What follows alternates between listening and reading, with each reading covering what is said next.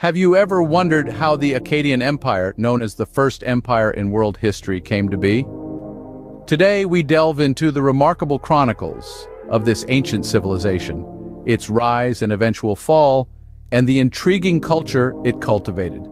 Our tale begins around 4,300 years ago in the region now known as Iraq.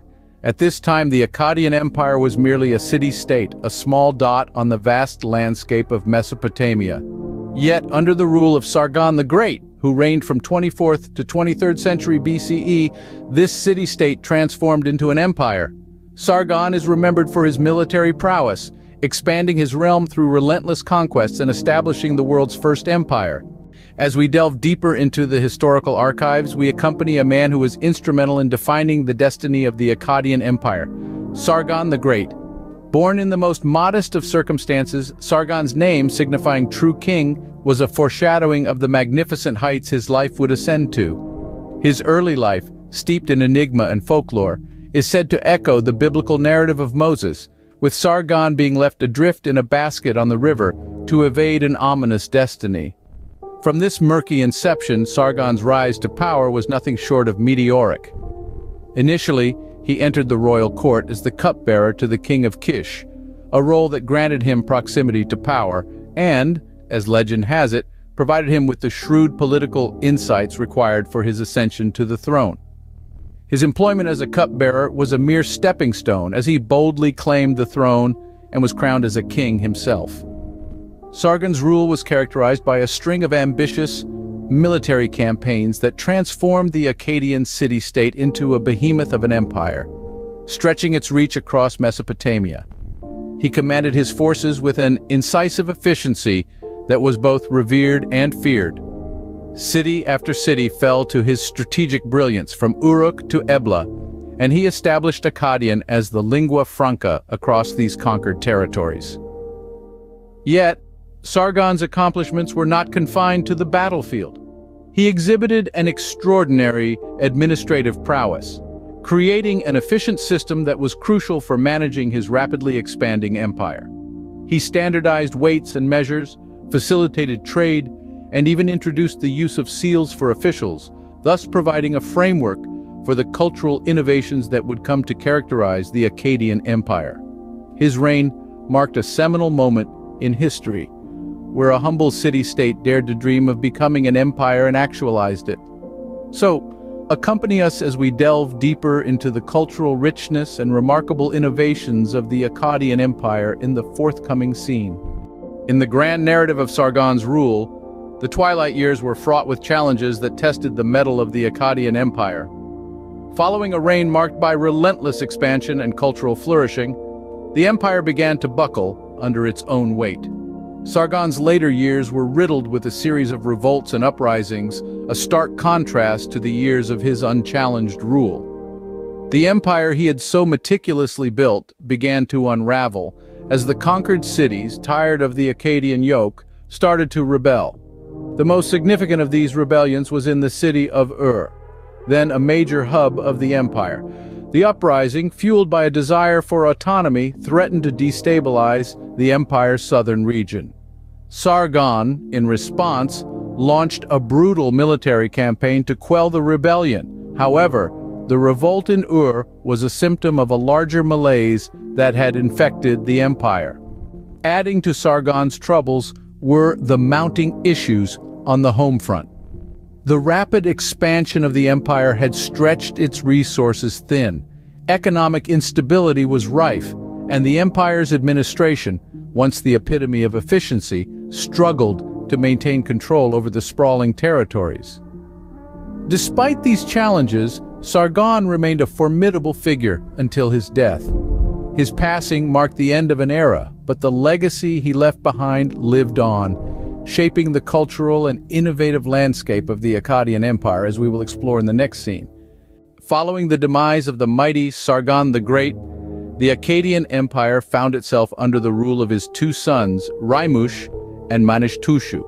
The transfer of power was far from seamless, as the empire grappled with the aftershocks of the revolts during Sargon's waning years. Rimush, the first to claim the throne, ruled over a turbulent era, His reign was a constant struggle against relentless rebellions, remnants of his father's unresolved conflicts. Despite the turmoil, Rimush's reign was not without its merits. He displayed exceptional military prowess, conquering rebelling regions and reinstating Akkadian authority. However, he was unable to quell the discontent simmering among his courtiers with internal strife and conspiracies clouding his rule. His rule ended in a brutal assassination, a grim sign of the instability that had penetrated the empire's heart. Following Rimush's tragic end, his brother Manishtushu took the reins, inheriting a realm teetering on the edge. Manishtushu, however, walked a different path than his brother. He chose diplomacy and trade over military authority to stabilize the empire. He built a network of alliances with neighboring realms, bolstering Akkadian's international standing. He also fostered economic growth by encouraging trade and commerce, bringing prosperity and stability to his empire. Under his reign, the Akkadian Empire experienced a brief respite from the tumult, and the Akkadian culture blossomed. Manishtushu's rule was marked by several architectural and cultural innovations, a testament to the peace and tranquility of his reign. The reigns of Rimush and Manishtushu were crucial chapters in the Akkadian Empire's narrative, highlighting the trials of succession and the varied strategies adopted by rulers to retain control. Their individual reigns signified a shift from Sargon's militaristic expansionism to a more balanced approach, setting the stage for the empire's cultural and innovative triumphs. In the wake of the reigns of Rimush and Manishtushu, the Akkadian Empire was guided by a transformative leader, Naram Sin. His rule left not just a mark but a chiseled engraving in the annals of the empire's history. Naram Sin ascended the imperial throne with an ambitious vision to consolidate and expand the power of the Akkadian Empire. The empire he inherited was already stable and prosperous, a testament to his predecessor, Manishtushu's diplomatic finesse. Yet Naram Sin was not a leader who would bask in the comfort of stability. His sights were set on expansion. Under the leadership of Naram Sin, the Akkadian Empire launched an array of successful military campaigns. His strategic prowess led armies to conquer territories extending far beyond the empire's original borders, from the shores of the Mediterranean Sea to the edges of the Persian Gulf. These victories did more than just expand the empire's territory, they further solidified the Akkadian rule and established it as a formidable power to be reckoned with in the ancient world. However, Naram Sin was not solely a military tactician. His influence extended to the realm of religion. The king initiated a groundbreaking religious reform by declaring himself a god at a first in Akkadian society. This monumental shift, where a living ruler claimed divinity, was not just an assertion of his rule, but it redefined the societal fabric of the Akkadian Empire. It reshaped the relationship between the ruler and the ruled, blurring the lines between the divine and mortal realms. Naram Sin's reign was not just a period of change, but a transformative epic for the Akkadian Empire. His military conquests, religious paradigm shifts, and audacious declaration of divinity left a profound and enduring legacy. The impact of his reign was far-reaching. It marked a pivotal juncture in the Akkadian Empire's history, laying the foundation for cultural and innovative triumphs that are still marveled at today. We shall delve further into these triumphs in the following scene. In the aftermath of Naram Sin's reign, the Akkadian Empire was a formidable force, its influence reaching far and wide. The Sumerian city-states, once independent and powerful, were now under the Akkadian rule. Yet, the transition from autonomy to submission was not an easy one. The Sumerian cities, each with its own distinct culture, traditions, and history, found themselves grappling with the reality of Akkadian dominance. A new order had been established, one where the Akkadian king was not just a ruler but a god. This shift in the societal fabric led to a profound change in the dynamics between the Akkadian Empire and the Sumerian city-states. The Sumerian kings, once independent rulers, found themselves in a position of submission. Their role was not just to govern their cities, but to acknowledge the supremacy of the Akkadian king. This was not merely a political act, but a religious one, as they were bowing to a god king. Yet the Sumerian kings, in their wisdom, understood the need for adaptation. They embraced Akkadian language, administration, and even their religious practices, integrating them into their own cultures. This act of assimilation allowed the Sumerian cities not just to survive, but to thrive under Akkadian rule. The Sumerian culture, while retaining its unique identity, began to absorb influences from the Akkadian Empire, leading to a fascinating blend of cultures. This period of submission and assimilation set the stage for the flowering of Akkadian culture and innovations, which we will explore in the next scene. With the submission of the Sumerian kings, the Akkadian Empire found itself at the helm of a vast and diverse territory. The efficient administration of this empire was a testament to its innovative governance model and robust legal system. The Akkadian Empire was a centralized state, with the king at its apex. The king, seen as a divine figure, was not just the head of the state but also the high priest. He was assisted by a group of high-ranking officials, each responsible for different aspects of administration.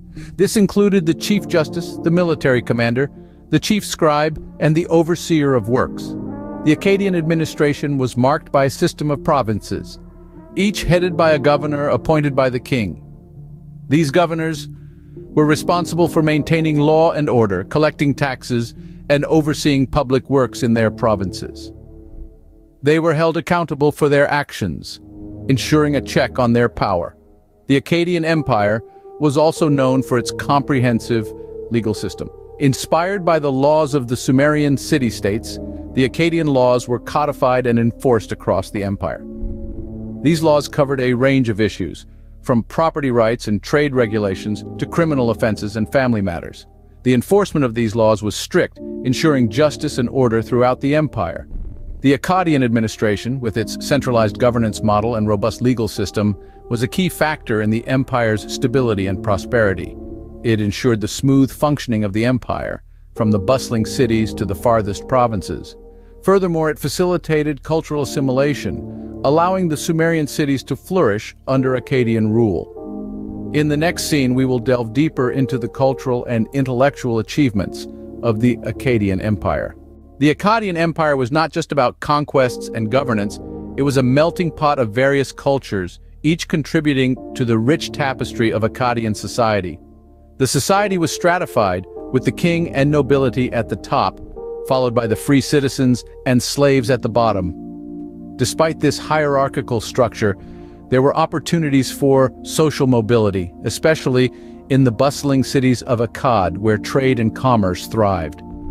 The Akkadian culture was a blend of Sumerian and Akkadian traditions, with influences from other conquered regions.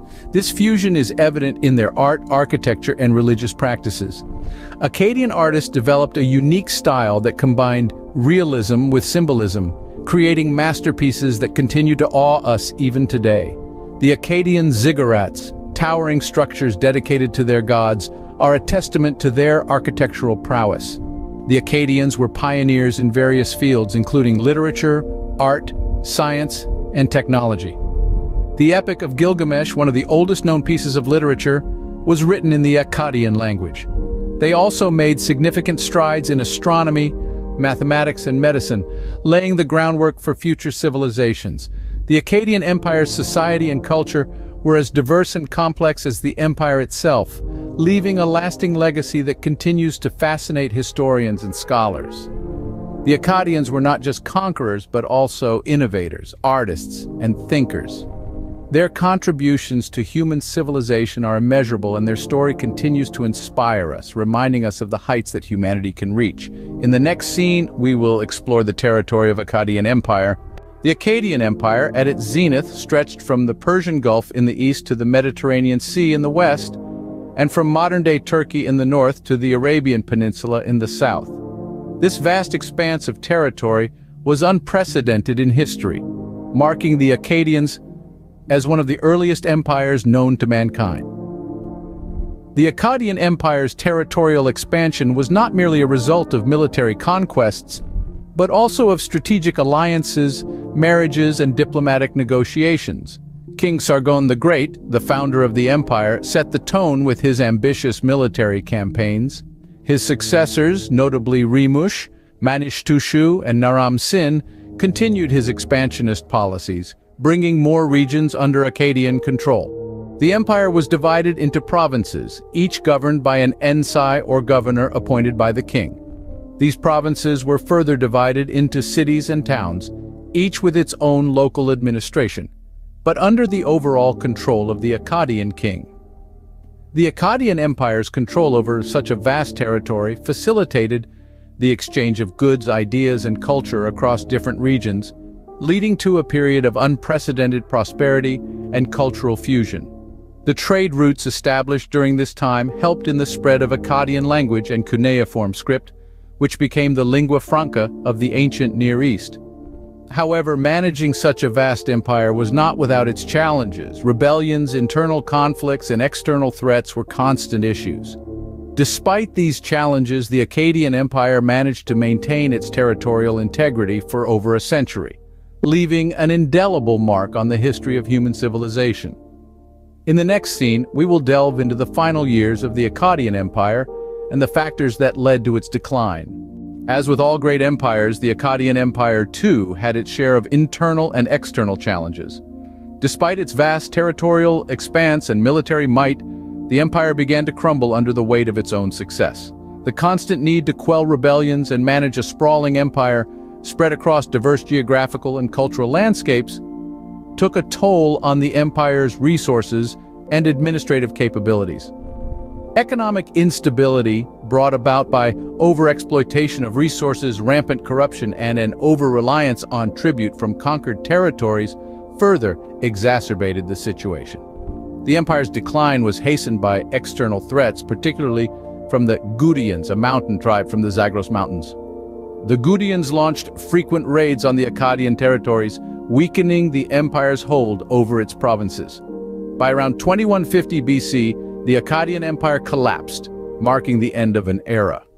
The fall of the empire led to a period of chaos and power vacuum known as the Gutian period, characterized by political instability and economic decline. Despite its fall, the Akkadian Empire left a lasting legacy. It set a precedent for future empires, demonstrating the potential and challenges of controlling vast territories. The Akkadian language and cuneiform script continued to be used in the region for centuries, influencing subsequent cultures and civilizations. The empire's administrative and legal systems, trade networks, and cultural fusion served as a blueprint for future empires shaping the course of human civilization. Having journeyed through the rise, reign, and fall of the Akkadian Empire, let's take a moment to reflect on the lasting impact of this ancient civilization. The Akkadian Empire was more than just a historical period, it was a pivotal chapter in human civilization that left an indelible mark on subsequent cultures and societies. The empire's administrative structure, legal systems, and trade networks served as a blueprint for future empires influencing their governance and economic policies. The Akkadian language and the cuneiform script, though no longer in use, have been instrumental in helping historians decipher the ancient world, shedding light on our collective past. Furthermore, the legacy of the Akkadian Empire can still be seen in modern Mesopotamia. The region's rich history and cultural heritage can be traced back to the Akkadian era, attesting to the empire's enduring influence. In recent years, the Akkadian Empire has also found its way into popular culture, becoming a source of inspiration for literature, films, and video games. This enduring fascination with the Akkadian Empire is a testament to its grandeur and influence. So as we conclude, remember that the Akkadian Empire, though long gone, continues to echo through the ages. Its legacy serves as a reminder of human ingenuity, ambition, and the drive to build, conquer, and leave a lasting mark on history. At last, remember, leave a comment, like, and share this video, and subscribe to our channel. We will appreciate if you do that. Goodbye and farewell.